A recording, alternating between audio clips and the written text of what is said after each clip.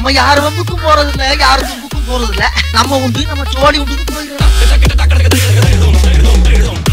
எல்லாருக்கும் வணக்கம். இன்னைக்கு நம்ம எதை பற்றி பார்க்க போறோம்னா இந்த மேரிகோல்ட் பிஸ்கெட் பற்றி தான் நம்ம பார்க்க போகிறோம் அப்படி இந்த பிஸ்கெட்டில் என்னத்தை பற்றி பார்க்க போகிறோம்னா இது இந்த பிஸ்கெட் கவர்மெண்ட் ஸ்டாண்டர்ட் படி அதோட லேபிளை கிரியேட் பண்ணியிருக்காங்களா இல்லை ஏதாவது மிஸ் மேட்ச் ஆகுதா அப்படின்ற டீட்டெயில்ஸை பற்றி நம்ம இந்த வீடியோவில் ஃபுல்லும் பார்ப்போம்.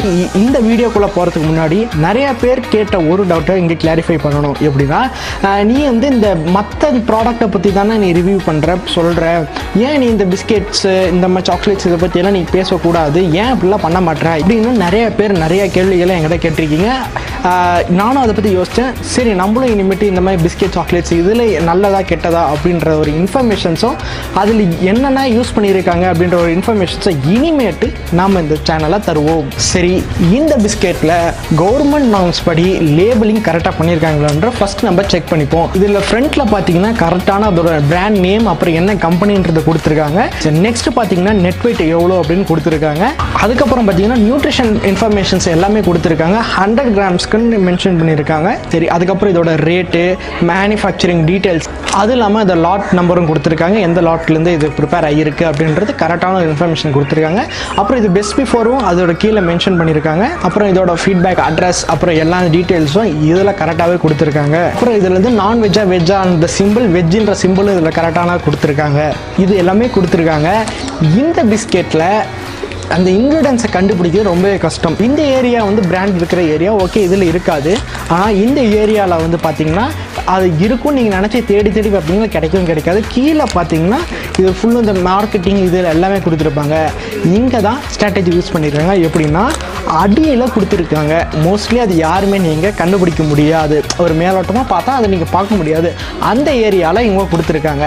சரி அப்படி இதில் என்னென்னலாம் யூஸ் பண்ணியிருக்காங்கன்னா அதாவது ரிஃபைன் வீட் ஃப்ளார் மைதா வந்து எழுபத்தி மூணு பர்சன்ட் யூஸ் பண்ணியிருக்காங்க அது இல்லாமல் இந்த sugar refine palm oil inverter sugar syrup milk solids raising agents இப்படி நிறைய நிறைய பொருட்கள் வந்து இதில் க பார்த்துருக்காங்க.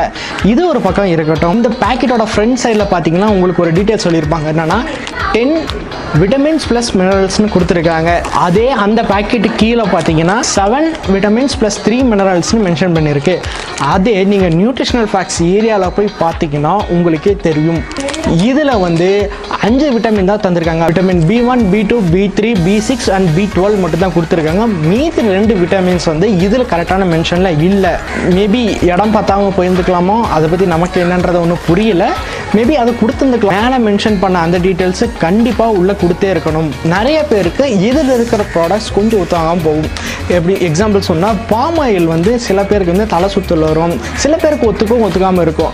அவங்கெல்லாம் இதை பார்த்து கரெக்டாக அதை எடுத்துக்காமல் இருக்கிறது நல்லது தான் என்னடா சொல்கிற பாம் ஆயில் இன்க்ரீடியன்ஸ்லாம் பாம் ஆயில்னு ஒன்று இருக்குது இது எத்தனை பேருக்கு தெரியும்? கண்டிப்பாக மோஸ்ட்லி நிறைய பேருக்கு இது தெரிஞ்சிருக்க வாய்ப்பே கிடையாது. கடைசியாக என்ன? இந்த பிஸ்கெட் நல்லதாக கெட்டதான்னா எடுத்துக்கிறவங்களும் பொறுத்து தான் இது நல்லதாக கெட்டதா தான் நம்ம சொல்ல முடியும். அப்படின்னா அந்த இன்க்ரீடியன்ஸ் லிஸ்ட்டை நீங்கள் ஃபஸ்ட்டு இதை பார்க்கணும்.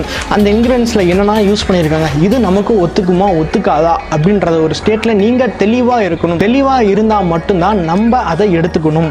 இந்த வீடியோவில் உங்களுக்கு தேவையான இன்ஃபர்மேஷன் கொடுத்துருக்குன்னு ஒரு நம்பிக்கையோட நான் உங்கள்கிட்ட இருந்து சைன் ஆஃப் பண்ணுறேன் நீங்கள் செய்ய வேண்டியது அந்த லைக்கு ஷேரு சப்ஸ்கிரைபு மறக்காமல் அந்த பெல் பட்டனு இது எல்லாத்தையும் நீங்கள் ப்ரெஸ் பண்ணால் ரொம்பவே நல்லாயிருக்கும் தேங்க்யூ ஸோ மச்